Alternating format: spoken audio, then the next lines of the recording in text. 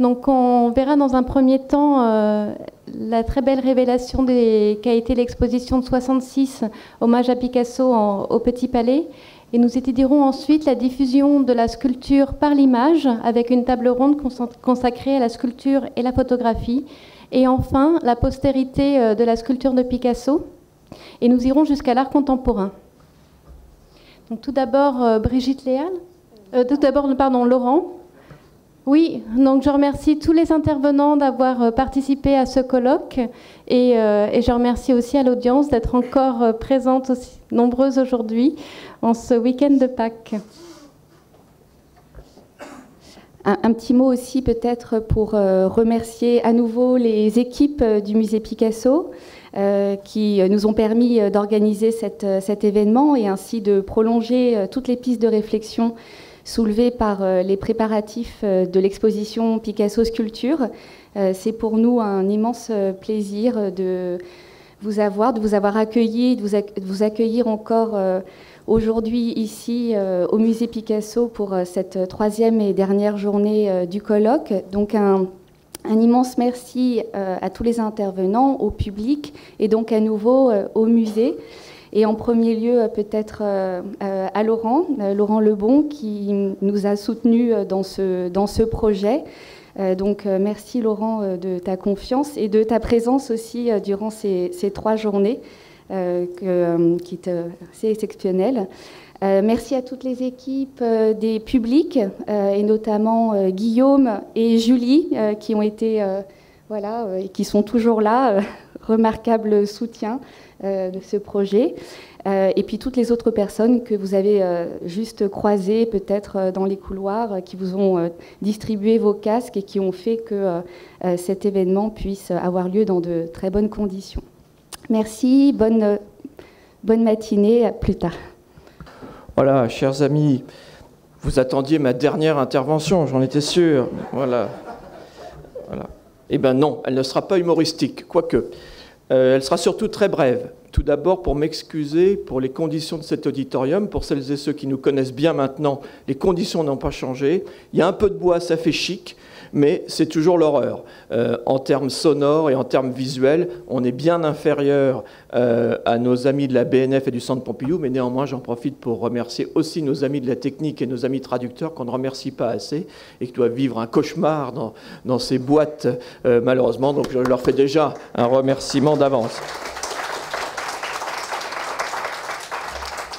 Aujourd'hui, c'est super strict en termes de timing, encore plus, parce que à 14h, de 14h, de 14h, on s'arrête. Donc du coup, on a dû décider de supprimer la pause, ou en tout cas de la réduire, parce qu'il y a des gens qui m'ont dit euh, il faut absolument qu'on puisse fumer. Voilà, alors, je vous explique.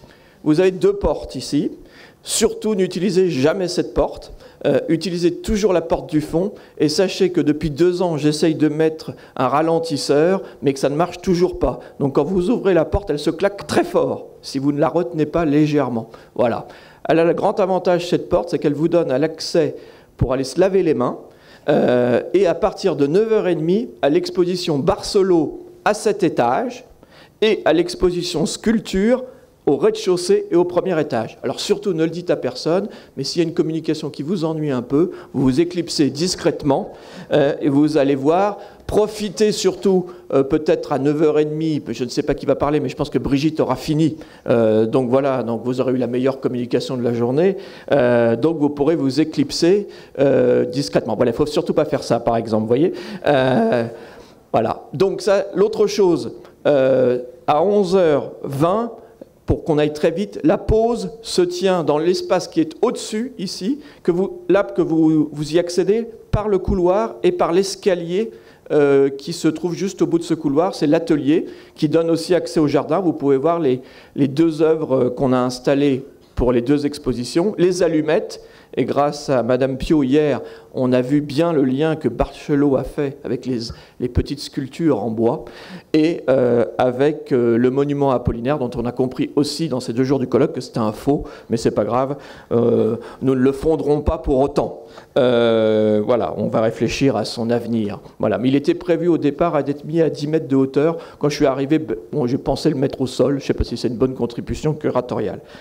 Alors, pour conclure, ma contribution scholarship. Voilà, je le sais, vous l'attendiez. Alors, depuis deux ans, euh, je me suis un petit peu amélioré, comme beaucoup me le disent. Oui, mais Laurent, c'est sympathique parfois ce que tu fais au musée, mais le problème, c'est que tu ne connais rien à Picasso. Alors, la bonne nouvelle, c'est que je suis maintenant à la page 4 de Wikipédia. Et donc, moi, ma connaissance a un petit peu avancé. Euh, je suis donc j'ai dépassé le cubisme en termes de connaissances superficielles. Hein. Voilà. Et donc du coup, euh, je vous propose une interprétation à méditer sous forme humoristique, mais pas totalement, parce que je me suis dit, quitte à ne rien connaître à Picasso, au moins regardons les œuvres. Voilà. Et donc voici la tête de Fernande. Je crois un petit peu une des stars de notre colloque qu'on a vu sous toutes les coutures. Euh, en dessous, au-dessus, la patine, et ainsi de suite. Je tiens d'ailleurs à votre disposition une vue d'en haut, puisque nous avons fait euh, un, film en, drone à l'intérieur du musée. Je rassure nos amis prêteurs, sans les œuvres de, euh, de nos amis de presse, c'était à l'ouverture du musée, qui est assez intéressante. Mais ce que vous n'avez peut-être pas vu, c'est la vue de derrière. Alors je propose qu'on baisse un tout petit peu, j'ai fait ça grâce à Julie hier et l'iPhone, peut-être qu'on peut baisser un tout petit peu la lumière.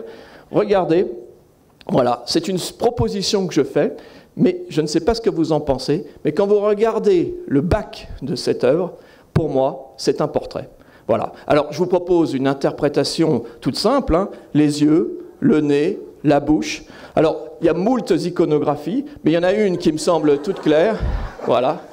Euh, alors, vous plaisantez, mais quand même positif, négatif, vide, plein. Je vous laisse méditer, c'est comme la période du cubisme. Et ce qui me semble très frappant, en tout cas, c'est qu'il y a exactement euh, des éléments, comme évidemment la période de Boisgelou. Hier, on a eu cette brillante intervention sur le fou avec les yeux renfoncés. Voilà, puisque dans tout ce colloque, on a dit que Picasso pensait à tous les détails, je crois avoir lu un petit peu plus que Wikipédia, je, n'ai encore jamais vu cette interprétation. Je vous la suggère comme une possibilité euh, nouvelle de la lecture de la tête de Fernande avec euh, une dark side. Et comme je vous le disais euh, hier, que la force soit avec vous, il fallait quand même que je vous parle du côté obscur de Fernande. et je vous remercie à toutes et à tous. À bientôt.